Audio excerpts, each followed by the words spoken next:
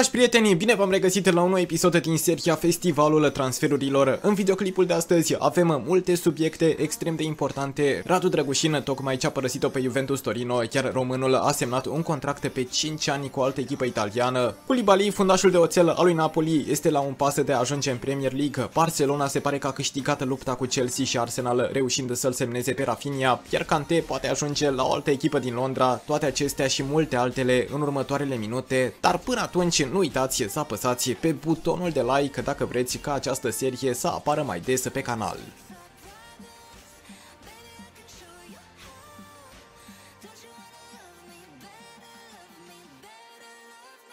Barcelona a avut mare succes cu fotbaliștii brazilieni, doar câteva exemple fiind Neymar, Dani Alves, Ronaldo Nazario, Rivaldo sau magicianul Ronaldinho. Aceștia au reușit un super transfer transferându-l pe Rafinha de la Leeds United. În ultimul sezon la Leeds, Rafinha a contribuit cu 11 goluri și 3 pase decisive în cele 36 de partide disputate, fiind cotat la 45 de milioane de euro pe transfer market, iar catalanii au plătit 58 de milioane de euro pentru a-l aduce pe acesta, plus alte 7 milioane de euro care pot veni din bonusuri dacă fotbalistul are evoluții bune. Înainte de a continua cu transferurile, vă rugăm să aruncați o privire spre Instagramul lui Robert Alexoae. Acesta este băiatul care se ocupă cu editarea thumbnail-urilor noastre și este un editor profesionist. Linkul îl aveți în descriere.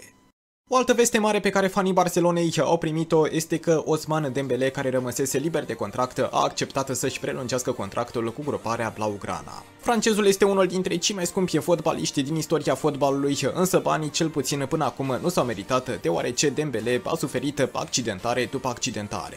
Acesta a avut însă anul trecut un sezon destul de bun, fiind cel mai bun pasator al echipei, chiar acum ar putea arăta că este un fotbalist de mare valoare. Noul contract al francezului este valabil până în 2024, iar Dembele va avea un salariu diminuat cu 40%.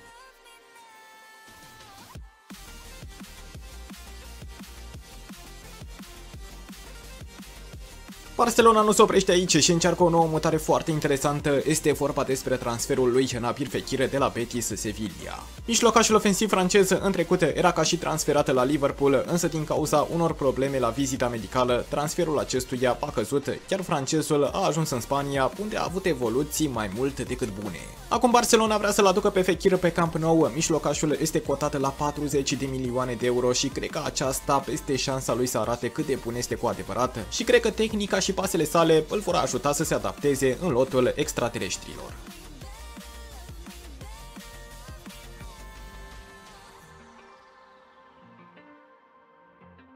O știre care pare aproape imposibilă este că Chelsea l-ar lăsa pe N'Golo Kante să plece chiar la rivala Arsenal. Se pare că francezul are unul din cele mai mari salarii la echipă deși are 31 de ani, iar noua conducere a clubului londonez ar vrea să lase să plece pentru aproximativ 20 de milioane de euro. Arsenal se pare că este echipa interesată și cred că ar fi o adevărată bombă pe piața transferurilor, mai ales că tunarii au mare nevoie de un mijlocaș defensiv, iar Kante este cel mai bun din lume pe poziția aceasta. Cred că dacă Arsenal a reușit acest transfer care chiar pare un vis pentru fanii echipei, a reușit să prindă primele patru locuri fără emoții.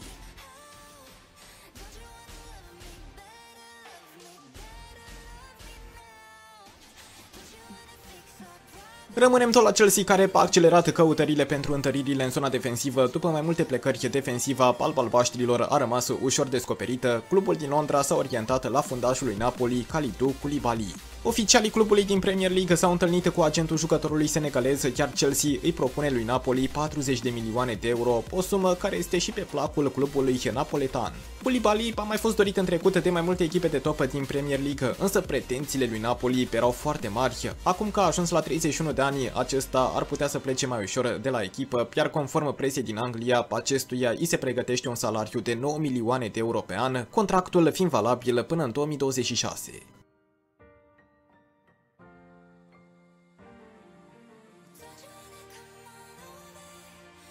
Alt fundaș pe care Chelsea încearcă să-l aducă este Presnel Kimpembe, cu care neamțul Thomas Tuchel a mai lucrat la PSG. Cum PSG vrea să-l aducă pe Milan Skriniar, Kimpembe cu siguranță nu va mai prinde atât de multe minute și va trece pe banca de rezerve, așa că un transfer nu ar suna deloc rău. Fundașul a câștigat campionatul mondial cu Franța și este de 5 ori campion al Franței și cred că ar fi o soluție destul de bună pentru Chelsea care pare nevoie de întăriri serioase după ce Christensen și Rudiger a părăsit-o gratis în această vară.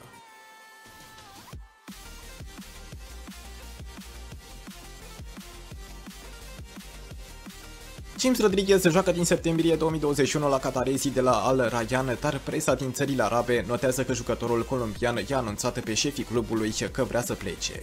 Fostul jucător de la Monaco, Real Madrid sau Everton a refuzat o ofertă de la Botafogo, semn că își dorește să revină în Europa. Sursa citată scrie că Jose Mourinho îl dorește insistent la AS Roma, mai ales că se pare că îl va pierde pe Nicolo Zaniola, dorit de Juventus. Rodriguez are doar 31 de ani și consideră că nu și-a spus ultimul cuvânt în fotbalul mare, iar Seria A par putea fi climatul potrivit pentru relansarea carierei sale.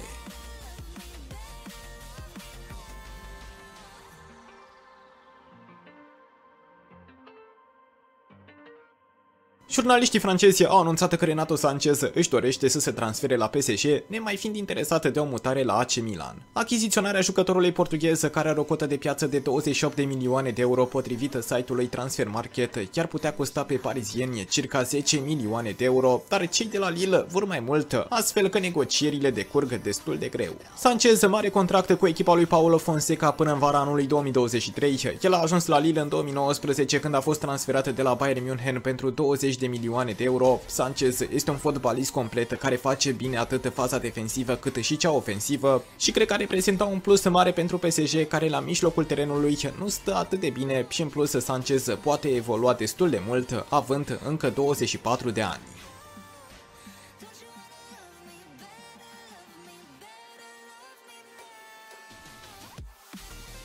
Mario Balotelli are doar 2 ani de contract cu turcii de la Adana Demirspor, dar se pare că atacantul de 31 de ani este tentat de o aventură în La Liga. Italianul și-a întrebat fanii pe rețelele de socializare ce părere par avea de o mutare a sa în Spania. Semnă că este foarte aproape de a ajunge la un acord cu o echipă iberică. Potrivit Marca, Cadiz și Valencia și-au manifestat interesul pentru Balotelli, care în sezonul trecut a marcat 19 goluri în 33 de meciuri pentru Adana Demirspor. Super Mario știm cu toții că este un fotbalist extrem de talentat și capricios care atunci când se potentează la maxim poate reuși lucruri foarte frumoase.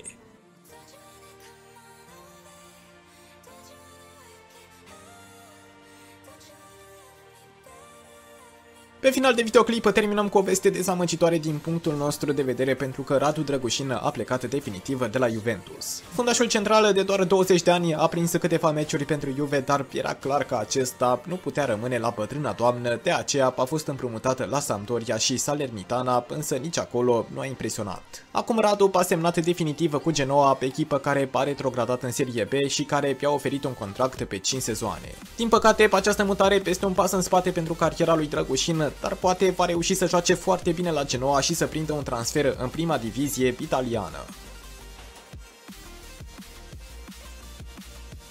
Acestea au fost și ultimele noutăți de pe piața transferurilor. Dacă v-a plăcut clipul de astăzi, nu uitați să apăsați pe clasicile butoane de like, abonare și share, iar pentru cei ce doresc să ne ajute și mai mult pot apăsa pe acel buton de mulțumire sau pot deveni chiar membri. Salut!